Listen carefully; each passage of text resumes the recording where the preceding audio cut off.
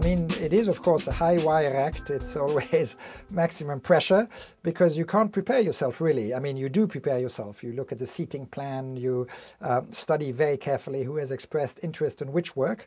But of course, there is no script. You don't know how it's going to do, and then you have to improvise.